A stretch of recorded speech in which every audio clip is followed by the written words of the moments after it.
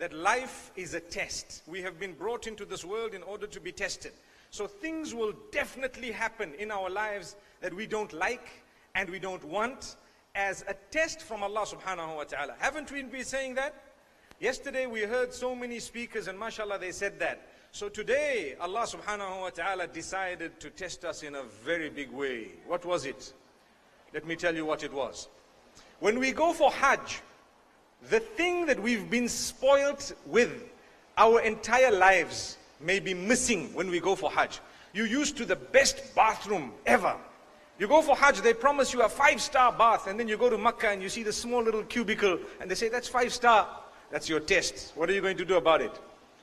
Your luxury that you've been used to for so long has just been taken away from you for the five days of Hajj. That's your test.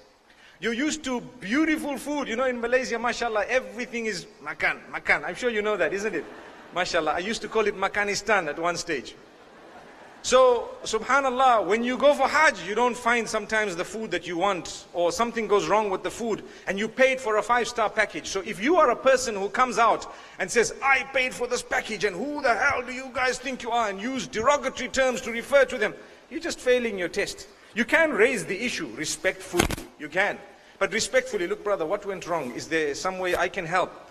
So similarly, we spoke about so many things yesterday, and Allah subhanahu wa ta'ala chose that today, the air conditioning unit won't be working early morning, it's going to come on a little bit later on.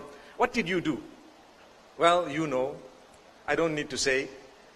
If you reacted by saying Subhanallah, Alhamdulillah, or you went to ask someone to say, look, what's, is there something wrong? Are you sure the temperature is, you know, put down? You sure you know how to operate the system and so on? Alhamdulillah, you have passed the test, maybe, and you thank Allah to say, Ya Allah, you know what? Like someone told me that, قُلْ نَارُ جَهَنَّمَ أَشَدُّ حَرًّا They said, I dealt with it by remembering the verse where Allah says, the fire of Jahannam is much more hot. Allahu Akbar. Wow. So the reason I make mention of this is because when something goes wrong and is not the way you want it, look at it as an opportunity to earning the pleasure of Allah subhanahu wa ta'ala.